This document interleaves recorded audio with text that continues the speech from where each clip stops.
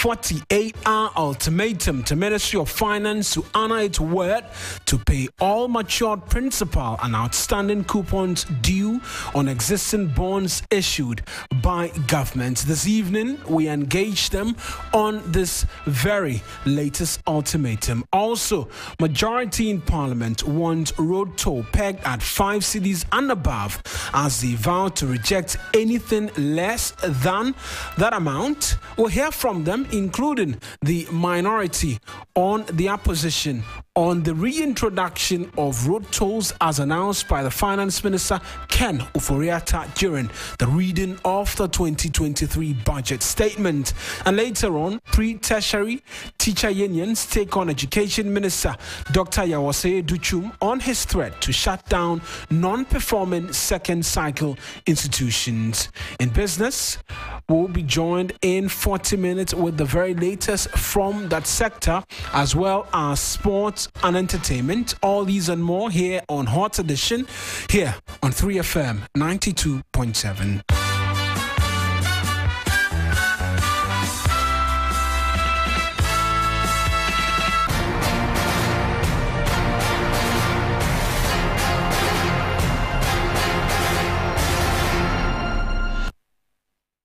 A pleasure that you could be a part of uh, this evening's bulletin.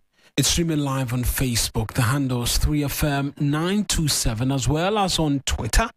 The handle 3FM927 on Facebook as well. Find us with these same handles. I am Eric Mawuena Egbeta.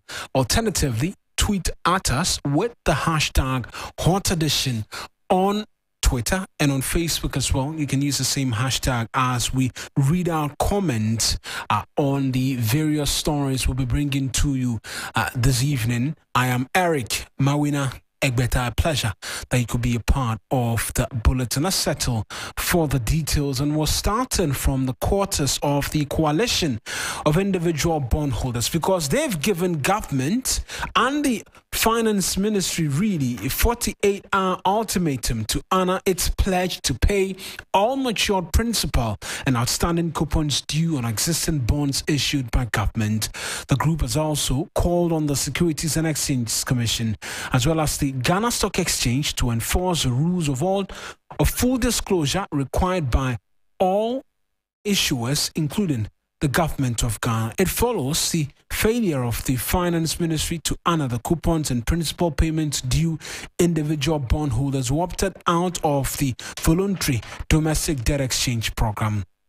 The ministry had given an assurance to resume payment on the 13th of March, but in a statement signed jointly by Dr. Joel Jangma Akwete, convener of the Individual Bondholders Association of Ghana, and Senyo Hosi, convener the Ghana Individual Bondholders Forum, and the coalition, they registered their disappointment about the development, particularly the loud silence and inability of the regulatory bodies such as the SEC, that's the Securities and Exchanges Commission, and the Ghana Stock Exchange to enforce the bond market rules. And the individual pensioner bondholders have also issued a statement to a similar effect. Dr. Adu Anane Antwi is the convener of the Individual Pensioner Bondholders Forum. Uh, he is joining us on phone and we'll pick the thoughts as well of uh, Senyo of the Individual Bondholders Forum.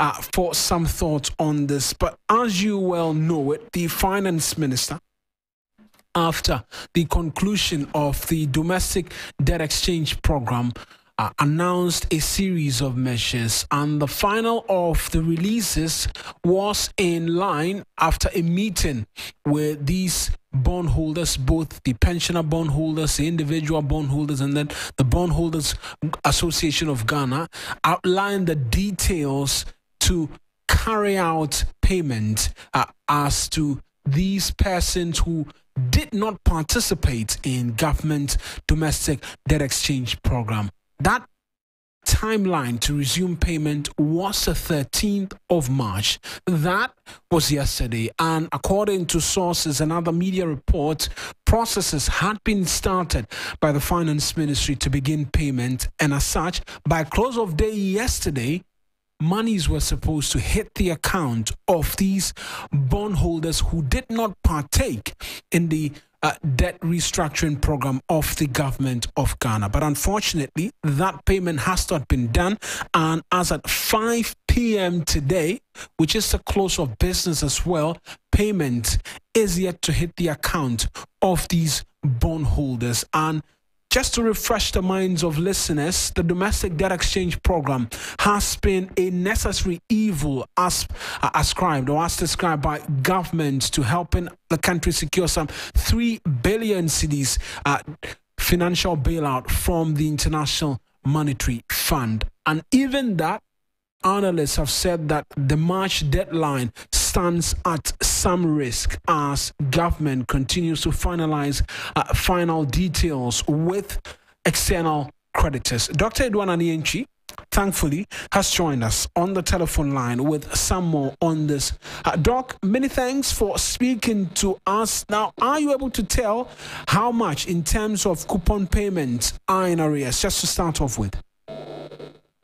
Um, thank you. But uh, one cannot uh, say how much is in arrears. In fact, after the the DD, DDP, government hasn't uh, come out to say these are the number of uh, bonds that were not uh, tendered in and their maturity date. So nobody knows the amount involved in the depository now. It's only government who can who can determine that. Mm. And as of the last time we heard from the finance ministry on this issue, which was on the 27th of February, that statement, which gave the assurance to begin payment on the 13th of March, has there been any communication again to that effect? No, after our meeting with the minister on 27th, where the minister uh, promised that uh, government will start paying from by, not even from by 13th March, uh, by which time they would have uh, resolved all issues. And uh, we just had to wait. We didn't think that we should even uh, find out before the 13th. The 13th was yesterday, and at the end of yesterday, we haven't uh, received any payment and government hasn't also issued any statement uh, to that effect. And so this morning we have to work on the a press statement to inform the whole public that this is what is happening and impress upon the government to do the needful. Impressed upon the government to do the needful, but between what time now and what threshold, or is it the 48 hour ultimatum that you're sticking to to have government pay you all of uh, the monies owed you? We, we have said government should take steps to pay these arrears immediately. However, if by the end, the close of day on Thursday, that is giving three more days, today, tomorrow, and Thursday, if by Thursday, uh, 5 p.m., close of business, uh, payment has not been made, then we will advise ourselves as to the, the next course of action we have to take. Mm. I'll come back to you as to what the next course of action would be. But uh, Martin Kpebu is a private legal practitioner as well. He speaks for the Indiv- Individual Bondholders Association of Ghana. He's also joined us on phone as we try and gather thoughts really as to bondholders and the current situation you find yourselves in. Many thanks, Counsel, for speaking to us this evening as well here on Hot Edition. And so the government, per that statement on the 27th, was to begin paying monies that you had invested in bonds. That has not happened. Your reactions to this and more. Hello? Mr. Martin Kpebu, can you hear me, please? Yes, yes. Uh, so I didn't hear the last part. You said, yes. I, I was asking really what your next line of action is after what appears to be a failure on the part of government to honor its own promises? Yeah, so we gave, uh, in our press release, we gave a 48 hour ultimatum. All right? Uh huh. So now we have to wait for it to expire. That it expires on Thursday. And then we'll take the next, we'll need to review the situation. And then if we have to escalate, we'll escalate to demonstrations, picketing, etc. Don't forget, about 1.3 million Ghanaians have been affected, and these people also have families. So it means that it's running to do multipliers. You are looking at easily about 6 million citizens affected. So this is no small matter. We will fight it to the end with our blood if need be, because we cannot continue to allow President Kufuor and Ofori-Atta to make money off us and then we die while they live. No, no, no, no. We'll fight it back with all our blood. But yeah. but does it surprise you that after all of the difficulties seeking exemptions and the likes, the DD program was concluded. There was assurances from government. Does it surprise you that these assurances appear to be breached again by the government you entrusted with your investment?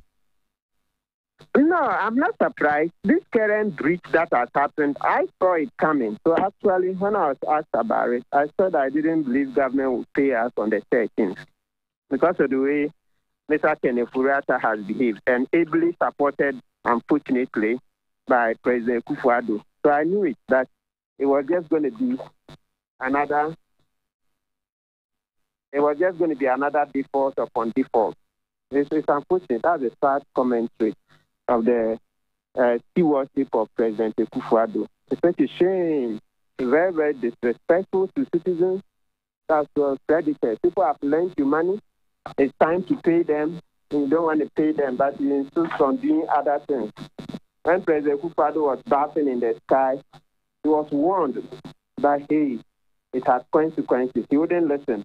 Recently, you heard the German ambassador when President Kufuor asked him to intervene, then he said, no, they can't intervene if they don't take steps to reduce the size of government. Haven't seen him do anything like that. Mm. It's all about intransigence. Everything is about him. It's not about governance. Everything is just about his personal aggrandizement. It's such a shame.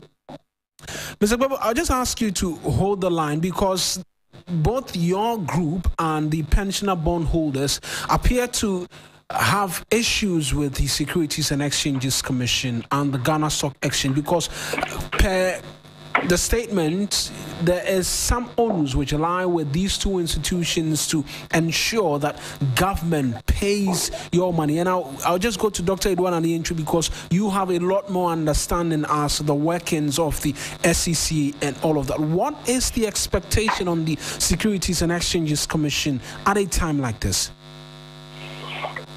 Well, uh, For me, this is not a time to be talking about the responsibility or otherwise of SEC. SEC will not get us the money. We need our money from government. SEC is not the one to go and take the money to us. So, mm. as, at, as far as I'm concerned now, it's not an issue about SEC. Another matter, another day, we can talk about SEC. SEC's role here, but not at this moment. But for your members, pensioners, as a matter of fact, how are they reacting as well to uh, what appears to be the delay in government honoring uh, these investments? Nobody is, is happy, uh, especially people who have some other medical issues to deal with, expecting these monies to come for them to handle. So nobody is happy with what is happening. And that's why we think that uh, government should do whatever it has to do to make the payment at the close of business on Thursday. 48 hours that's the that's the ultimatum you've provided to government what happened it's more, it's, it's more than 48 hours it's more than 48 hours yes we were Thursday. supposed yesterday and if we are paying Thursday that is three clear days right I'm, I'm saying 48 because the statement came today. But what happens by Thursday from your group, the pensioner bondholders? if your monies are not paid? Because we've seen you picket at the finance ministry, which resulted in meetings upon meetings, and then the declaration that you'll be paid in full, whatever that is owed you. Well, the, the people's expectation is that if we say we advise ourselves, we are going back to the picketing. Uh, but let's be let me say that picketing was the last thing that we wanted to do. Uh, it, it, it, wasn't a good thing to do. The stress, you don't subject the elderly to go and uh, uh, be a place to be a place at, at a place for that long. Some of them needed to be in their houses for their medication. Uh, you know what uh, goes with uh, old age. Ah. So it was not the right thing for to, Why you couldn't attend? to let us go through it, but we were forced to do that. But I believe government has seen uh, the signs and the and and the worrying situation that that created, and will not allow that to happen again. We have some other options that we can. We went to Parliament.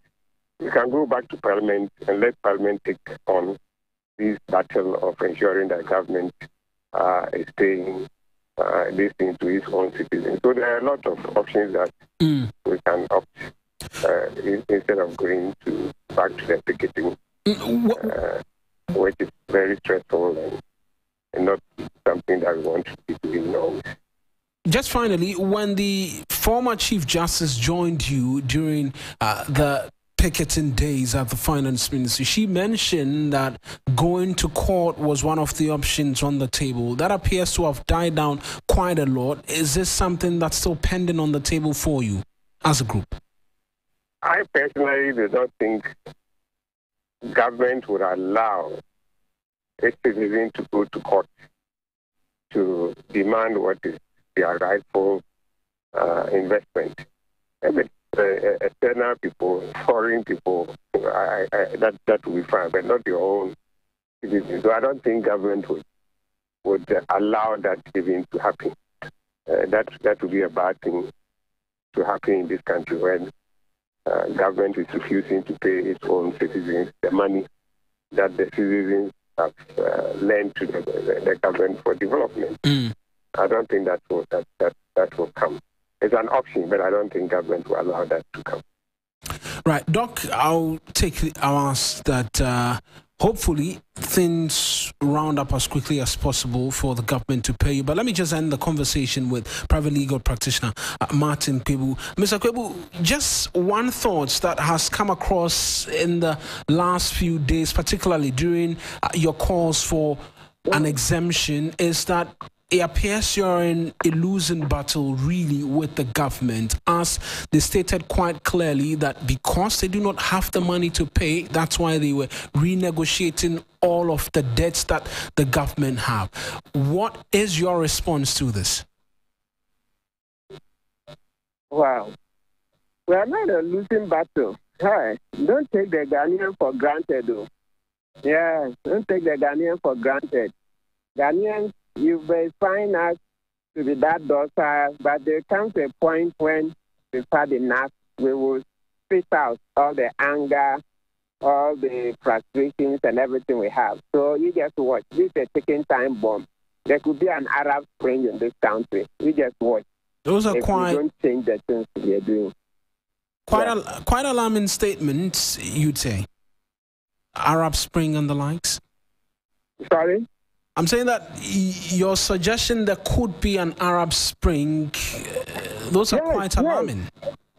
yes, there could be an Arab Spring because the conditions today are far worse than the conditions when President Kufuor was in opposition and talking about an Arab Spring, saying that the conditions in Ghana were ripe for an Arab Spring.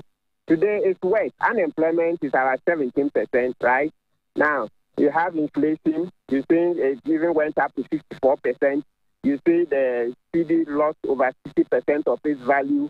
You see, so we have cost of living crisis. People can't buy food. People can't buy medicine. People can't pay their rent. People can't go about their daily lives because they've lost their investment. Businesses are collapsing. Electricity and water prices went through the roof. All these things. And the Guardians are shouldering them. You think it's easy?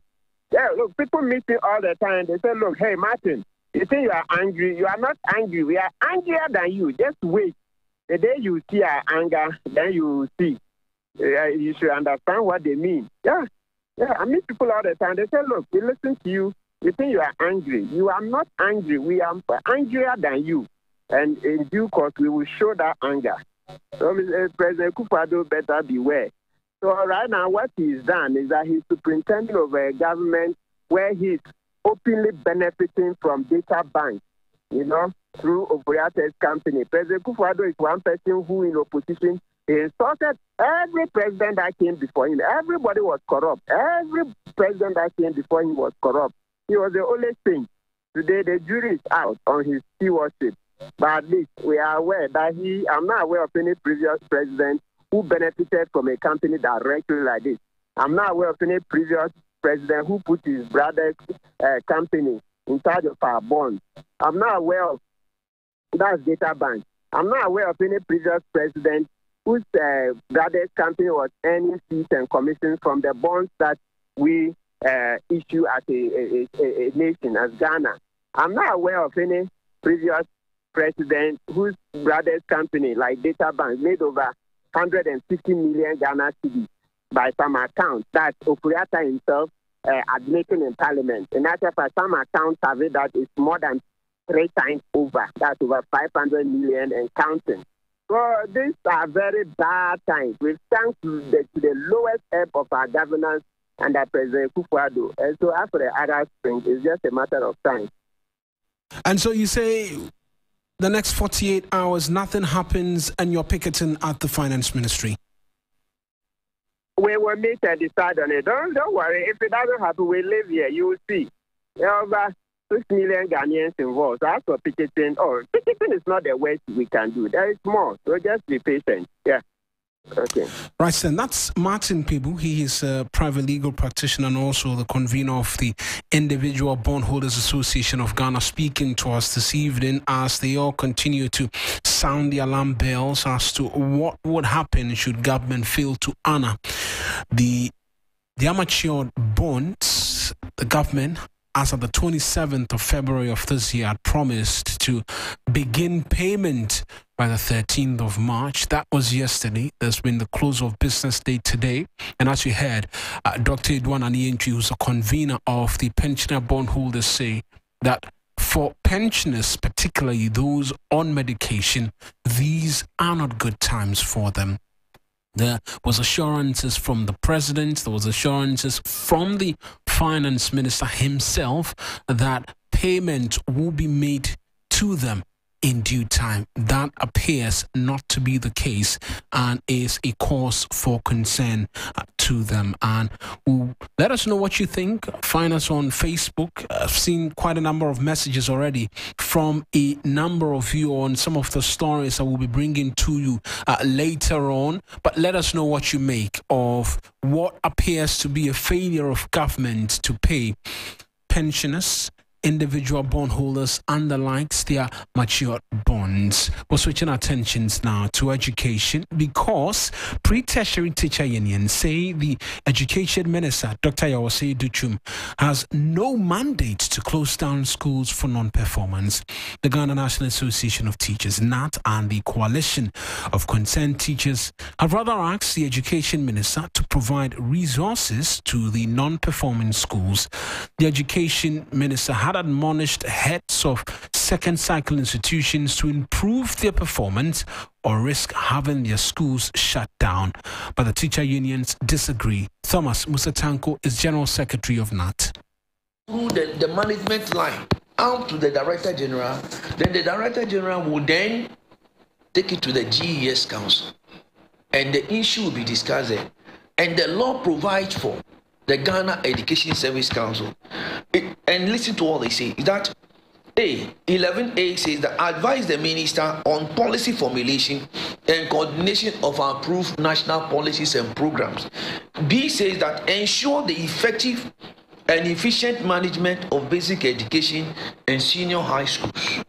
So, the management of efficient and effective uh, and effective administration of the basic schools, including the, the the uh, how do you call it, the JHS up to the SHS has been given not only to the regional directors, but if they have, if there are issues, they communicate to the director general. And the director general will then bring it to the attention of the GES council, and the GES council will then advise the minister on what is to be done. Hmm. The question to be asked: What is the basis of the minister's assertion?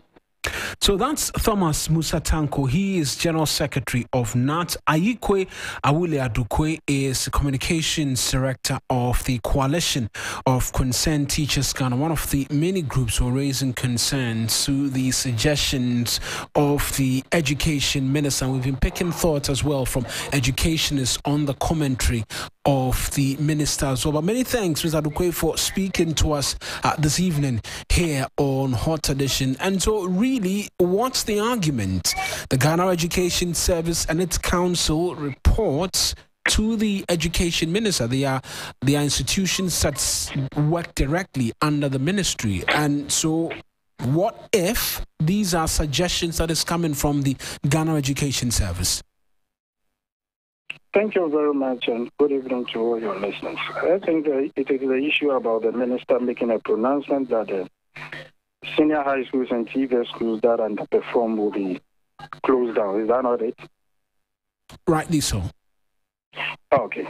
Now, from the point of view of the honorable minister, uh, the pronouncement that he made, first of all, I have a, an issue with it to say that um, schools will be closed down if they don't perform.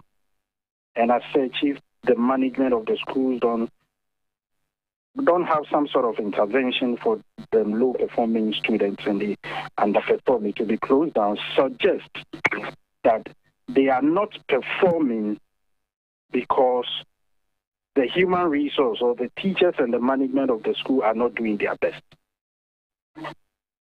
That is the main issue.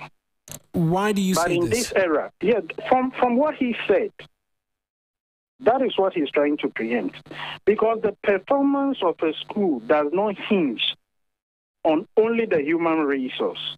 You can even look at the environment. You can look at the teaching and learning resources. You have to even look at the child, the parents, and everything. They all come together to ensure that the child performs very well or the child is brought up the way he or she is supposed to be brought up. So you cannot conclude in this era that a school that doesn't perform, which criteria is he using? The school that doesn't perform will be closed down. Well, you see, school, schools... you cannot compare. You see, that is what I say. You cannot compare Teshie Presec to Legon Presec. You cannot put them on the same pedestal. They, they are all Presec schools. But I think if I should ask you where you think your ward should attend senior high school, you would choose Legon Presec. Why is it so? So I think the minister should come again.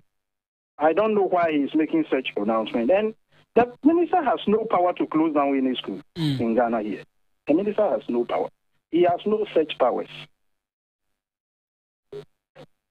But the, the minister makes the argument largely on the success rates of, or the pass rate of these senior high schools during the West African senior secondary uh, certificate exams. Some of these schools have zero pass marks. And he says that he makes the argument quite strongly based on, on the reportage from that closed door meeting that the government commits resources to these institutions. And so, if consistently as a school you're getting zero pass mark during the WASSCE, you're as good as being shut down.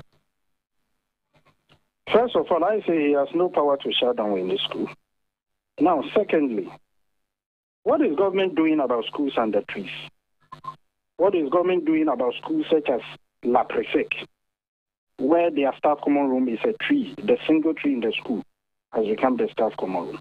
where students are studying in uncompleted bills? Have they ever commended the teachers in those schools that, in spite of the scarce resources, in spite of the condition in which you find yourself, you are still performing? Have they ever commended them on that score? Now, again, in this era, are we measuring the performance of a school based on an examination in this era? That appears that to be the standard to which to well in an examination, these schools. The school is not doing well. Unless you can point to another means of testing how well these schools are doing, it appears the minister is using WASSCE exams and pass rates of schools and the fact that they continue to get 0%. That's his argument. Then it is sad and very regrettable that in this era of standard based education, and then the Common Core program that is being implemented at the junior high school, and we are going to do same as the senior high school. This same minister who is trying to project that we are now in a standard-based period, there is no place in Africa here where children at the age of 14 or 15 write basic school BEC examination, and if they don't pass, they don't have they don't have that, that, that, that opportunity to go to senior high school. And so if the same minister is now basing the performance of schools per the WASSCE results, then it is very sad. And he is rather not thinking about providing the appropriate resources to schools, even in Accra here, to ensure that teachers who are really giving of their best at the end of the day will be supported by the resources being made available so that they can really do what they are supposed to do. You cannot give me a bicycle and give another person a motorbike and expect all of us to travel from Accra to Kumasi that we should get there at the same time and on that same day. So, with me using a bicycle and another another person using a motorbike. So, what are you suggesting? The minister should come again. It is absolutely wrong Mm. He doesn't have any power to close down any schools. They should go around Accra here and go and look at some of the secondary schools. Even the basic schools, it is worse off. And make sure that they provide the necessary teaching and learning materials. Teachers are really doing their best. Teachers are doing their best. Some of these schools that he is talking about, you go there and you will find only two trained teachers. And they are doing everything. And now you are telling them that if they don't perform well, you close down the which you don't even have the power to do. Go to those schools, go and look at the problems that they are facing, and try as much as possible to ensure that the problems are minimized. And I can tell you, teachers in Ghana are hardworking, very much dedicated, and they will do what they are supposed to do. Mr. Ayikwe Awule Adukoya, I appreciate that you could speak to us this evening. Thank you very much. He is the Director of Communications for the Coalition of Concerned Teachers Ghana speaking to us this evening. You're listening to Hot Edition here on 3FM 92.7. Must mention that we're streaming live on Facebook. The handle's 3FM 927. Find us there. Leave a message in our streams. We'll do the reading for you on our top stories. Government delaying in honoring the matured bonds of persons who did not subscribe to the domestic debt exchange program. Let us know what you think as well. But I've seen quite a number of messages uh, also in relation to one of the stories we'll be bringing to you and the National Honors Awards today. I'll do that reading when we take that story. But we take it to Parliament and the conversation about road tolls as we ready ourselves for business because the majority says anything less than five cedis as road toll will be fiercely rejected, even though government, uh, despite government suspending the toll and having to reintroduce it. Chair of the Road and Transport Committee says nowhere in this world are road tolls less than a dollar, but the minority is pushing for broader consultation that will have a price value generally, generally accepted. Parliamentary Affairs correspondent Komla Kluchi has the rest of the story.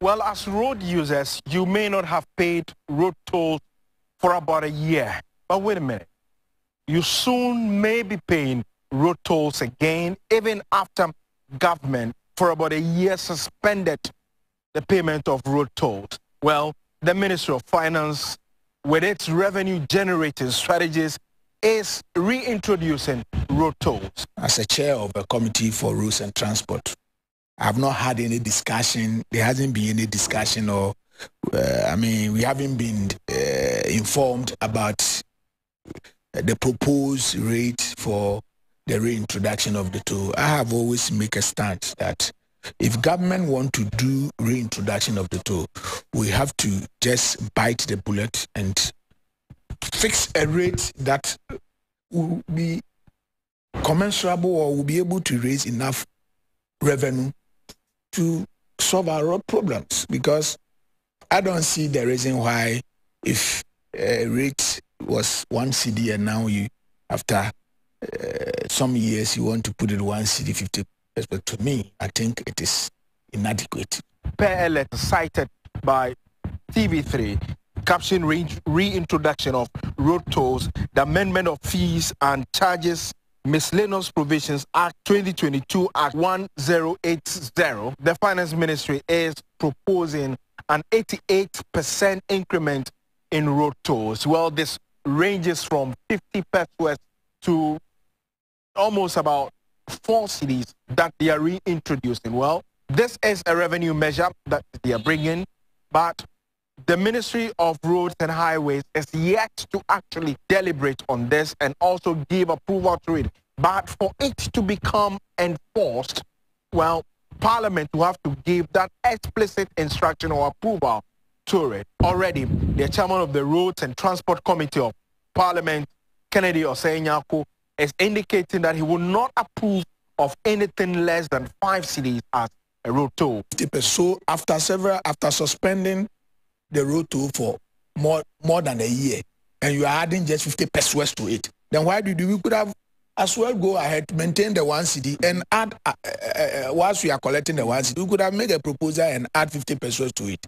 But if you come and uh, you said you have uh, suspended it and you want to add, for me, as a road chair, I will not support anything less than five cedis. And I'm saying it based on the fact that the average road toll in the sub-region, even globally, is one dollar. What is one dollar? How much is one dollar today? Okay, so if you're able to raise five, if it is five cedi, we are short of raising not less than a billion Ghana cedi. Do you know what a billion Ghana cedi can do? It can do so many things on our road.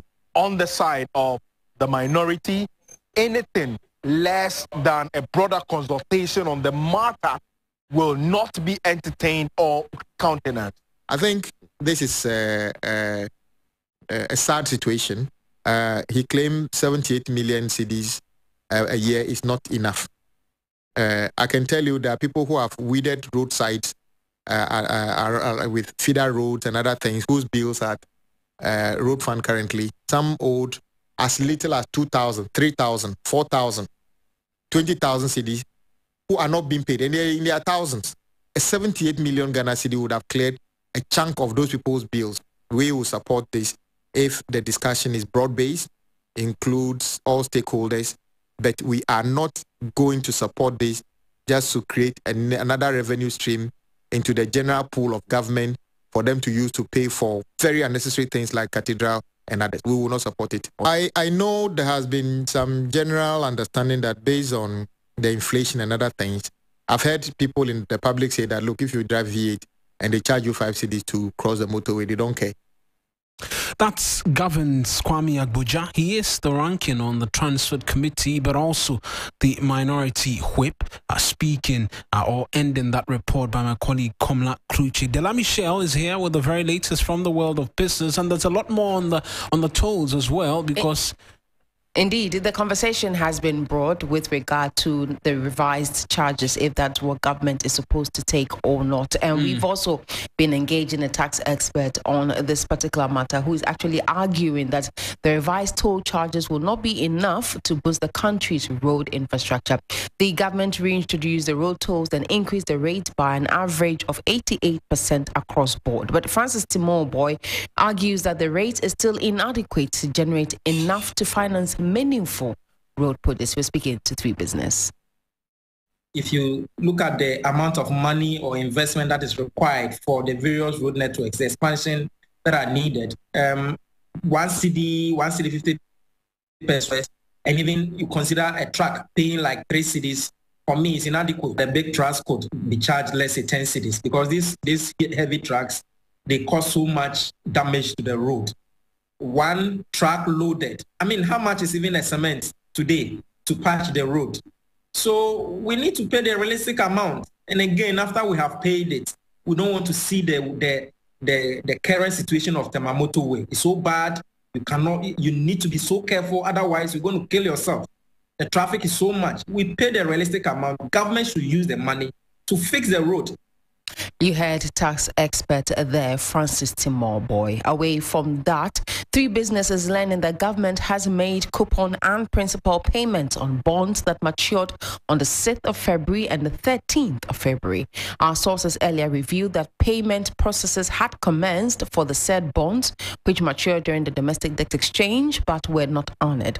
Holders of these bonds could be receiving their monies any moment from now, as we are learning that the funds have been released. However, three business um, told the bond the bonds that matured on February 20 have not been paid. It is not clear why the government has not made payments on the bonds. The government suspended a debt service during the exchange exercise and pledged to resume payment by March 13 following a meeting with all three bondholder groups that refused to participate in the debt restructuring. But as of the close of the day for Monday, the government had again not made payments, sparking anxiety with with regard to the affected bondholders. The individual bondholder groups jointly issued a two-day ultimatum to the government to honor its promise or risk seeking another round of protest. Of course, we're keeping an eye on this particular subject to bring you the details in our subsequent broadcasts. Financial analyst with Dalex Finance, Joe Jackson, is warning of dire consequences for Ghana's economy if government fails to secure an IMF program by middle of next month. His warning follows earlier remarks by Finance Minister Ken Ofori-Atta that things could get out of hand if a bailout program is not reached by the end of April. Mr. Jackson said, based on the ongoing negotiations with external creditors and China's lukewarm attitude, the process could be much more protracted. The dire consequences will start with a shortage of foreign exchange. This is a country that imports all its energy requirements. Maybe uh, so fuel, we could run out of fuel. We could run out of electricity because uh, uh, less than 30% uh, of that is generated from Akosombo. We could run out of drugs, food, everything imported would be at risk. Remember that we haven't paid a dime in our uh, foreign exchange debts since December. We've defaulted. The reason why we have been treated with kid gloves so far is because there's reasonable belief that the IMF deal will happen soon enough and there will be stabilization in our affairs, our economic affairs. If we miss this deadline and we miss it too badly, that belief could disappear and we could start to face the doomsday scenario that His Excellency the President of Ghana has described. You heard the voice of Joe Jackson. He is with Dalex Finance. That's how we wrap up the business news right here on Hot Edition on 3FM 92.7. Log on to 3news.com for more business news. My name is Della Michelle Marina. Would would you go in for the 10 for the for the for the toll. I mean, um, the tax expert is, is advocating that the truck should pay ten cedis. We also hearing uh, the trotro drivers will pass it on to the ordinary Ghanaian. Sometimes some of the things, I mean, the conversations would go on, but maybe two cedis, two, two cedis at best is what will serve that's why I keep saying the conversation because somebody will say that if you've bought a car, then you can afford two cedis or you can afford five cedis. So yeah. Well, let's see how the conversation goes. But of course, we will monitoring that particular development. All right, then, Della Michelle with the very latest from the world of business, sports, and entertainment will come up shortly.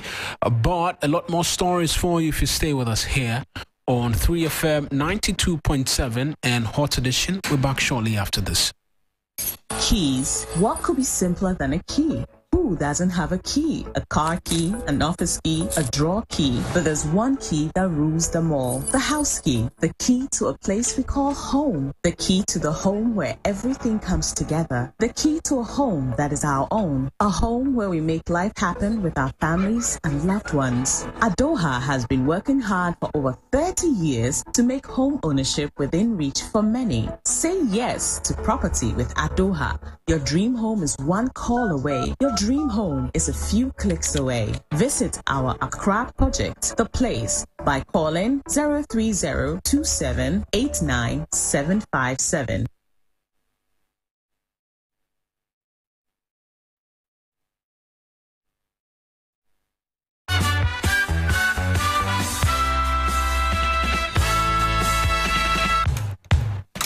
Right then, many thanks for staying here on 3FM 92.7. Our top stories in the last few minutes.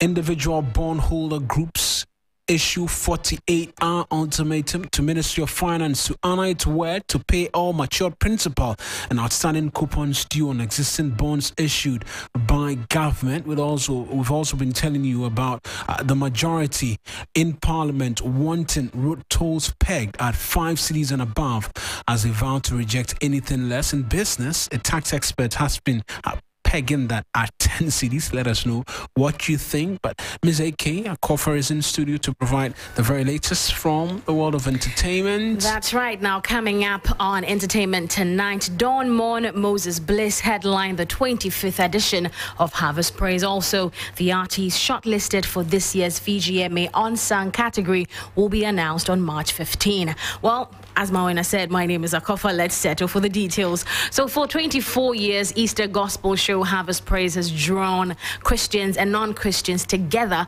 to praise and worship. Now, the 25th edition of the annual Harvest Praise headlines renowned international gospel singer Don Moen, Moses Bliss, and the Harvest Gospel Choir on Good Friday, April 7. Now, here's a story put together by my colleague Noella. Where there seems to be no Running for 24 years, the Easter Gospel Show Harvest Praise is here again. Aside bringing together prolific gospel musicians and Christian folks under one praises and worship umbrella, the show targets evangelism as part of its core mandate. Hearts are filled with a lot of gratitude to God because we sometimes ask ourselves how we made it for 25 years and we can only give the praise to God. It's been one year after the other, one challenge after the other, one mountain after the other for us to be able to scale. And um, it has been a testimony of God's faithfulness. I know that uh, He will continue to uh, make this outreach what it was birthed to be. For the 25th edition, Harvest Praise is featuring renowned international gospel singer Don Moen, Moses Bliss, and Harvest Gospel Choir on Good Friday, April 7th at the University of Professional Studies Accra UPSA Auditorium. Like all other years, you will not be disappointed. We have all the way from Nigeria, Moses Bliss of bigger everyday fame, from the United States of America, we have Minister Don Moen. In a bid to push the Ghanaian gospel music onto the global stage, Harvest Praise, organized by Harvest International Ministries, is to unveil a new record label as part of its legacies for the 25th anniversary. Reverend Fitzgerald Odonkor is the president of Harvest International Ministries. You know, that's really the great legacy that we want to bequeath to the Christian gospel scene, um, not only in Ghana, probably in Africa. And um, that is the next level that God is leading us onto. That we will provide, as it were, a crucible for gospel artists to find refuge and to find an instrument or a, a means by which their music will reach the world and they wouldn't be laden with the burden of marketing and uh, promises broken. Well, if you don't have plans for Good Friday, April 7, uh, you might want to find your place at uh, this year's Harvest Praise. Now, moving on, uh, it is almost that time of the year where we get to unveil some relatively unknown but super talented artists who will compete for the Unsung Artist title at the 24th Vodafone Ghana Music Awards. Now, for uh, 10 solid years, the VGMA has made a commitment to shine light on some budding acts and birth top music stars like Ms. V, Kwame Eugene, um, Kelvin Boy, Mr. Drew, Enu Jackie, and many more. Now, make a date with us on Wednesday, 15th of March 2023 at 12 noon. As you know, we get to find out the list of artists who've been shortlisted for the 10th anniversary of the VGMA Unsung category. Now, this announcement will be live on selected media general platforms, so you might want to stick with us on that one so we can, uh, you know, update you on that one. That's it for entertainment on Hot Edition. My name is is Akofa Mawina. Over to you. Unsung category, when yeah. are you featuring on that? Um, I'll think about it. I'll think about it. You know, I've yeah. been pushing. Uh, you have been, but yeah, I'll think you about need it. To. I, you need to. We'll see how it goes. spot. I know. So, I, know. I mean, once the next single coming up? And uh, maybe an album or something? I need to consult my pillow. a pillow? Yeah, yeah, my pillow, yeah. Right, then that's a for the very latest from the world of business. Oreko quiz on standby. He's bringing us sports as well because Champions League is back, but there's some news about a joint World Cup bid. Yeah. Uh, had me a bit muzzled. well, yeah, so we're just showing on TV3 that's the uh, inaugural maiden edition of the 2022 CAF Excellence Awards, which saw uh, Rwanda President Paul Kagame and then uh, King of Morocco, as uh, King Mohammed VI, pick up uh, special awards from uh, Patrick Motsepe representing CAF for their work in sport uh, in the year 2022. And uh, there was a revelation made at the conference which took place in Kigali. Now, His Excellency Shakib Ben Musa, who's the Minister for National Education, Preschool and Sport in Morocco, confirmed at the awards uh, that took place in Kigali that the North African country have officially applied to co-host the 2030 World Cup alongside Portugal and Spain. That is because the ambition I hold for my country is inseparable from that which I nurture for the African continent. Your Excellencies, ladies and gentlemen, distinguished delegates, with that in mind, I would like to announce before this assembly that the Kingdom of Morocco has decided, together with Spain and Portugal, to present a joint bid to host the 2030 World Cup. This joint bid, which is unprecedented in football history, will bring together Africa and Europe, the Northern and Southern Mediterranean, and the African, Arab, and Euro Mediterranean worlds. It will also bring out the best out of the best in all of us in effect, a combination of genius, creativity, experience, and means. I thank you and peace be upon you. And so the big news is that Morocco replaced Ukraine and would have a joint bid for the 2030 World Cup alongside Spain and Portugal. This doesn't mean that they've won. This is just an application process, and it would go to to uh, the due diligence where uh, FIFA delegates would decide on whose bid is the best uh, mm. to uh, host the 2030 World Cup. Uh, but let's do some more here, where the Handball Association of Ghana is holding its first ever training workshop for handball referees in Ghana, aimed at improving the state of officiating in the region. Diabate Mamuzu, who's the president of the Playing and Rules Commission uh, of the African Handball Confederation says Ghana has the potential to provide some of the best referees. You need first your effort, and after we'll try to help. And also the second thing, I have here many young referees, many. And uh, really, in the future, I think Ghana will have some talented and good referee. We'll be bringing you a full report on what happened at the workshop much later on News 360 on TV3 at 7.45. But before we go, just an update on the UEFA Champions League where Manchester City welcome RB Leipzig and the second leg of the round of 16 tie. Uh, game is evenly poised after ending 1-1 in Germany. Pep Guardiola expects his side to progress into the quarterfinals because he knows that his team would be judged based on their success only in Europe have to public opinion. That doesn't mean that we change it. I agree with that, but absolutely, absolutely be judged for that competition. Yeah, definitely. Because since the day one arrived here in the first game in Champions League, they asked me when just arrived, landed here, sitting for the first time, you are here to win the Champions League. I said, what?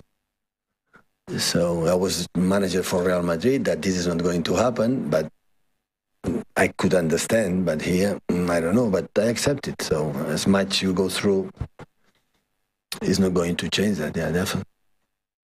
So pressure definitely on Pep Guardiola. There'll always be pressure. he came to, he's there to win the Champions yeah, League. Yeah, he has to. He has to do that. I mean, I'm sure they're tired of winning the Premier League at this point, four out of five. Although they would love to win, I think that they would also want to taste the Champions yeah, League. Yeah, they would love to win the Premier League again. Yeah. For a player like Haaland, he's won yeah, he's not winning. So it, yeah. he, he would love to win it. But many thanks, Oriku, for bringing us the very latest from the world of sport. We just end with uh, that story.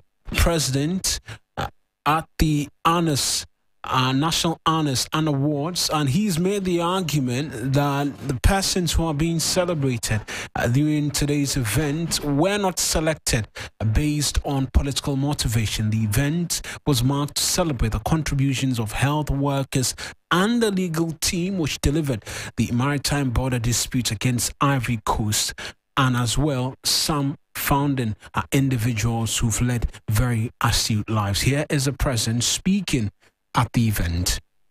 It is important to state in conclusion that today's award ceremony is a purely national event, devoid of partisan, ethnic, or religious considerations, and organized solely in recognition of the services offered by its recipients to the growth, development, progress, and prosperity of Ghana.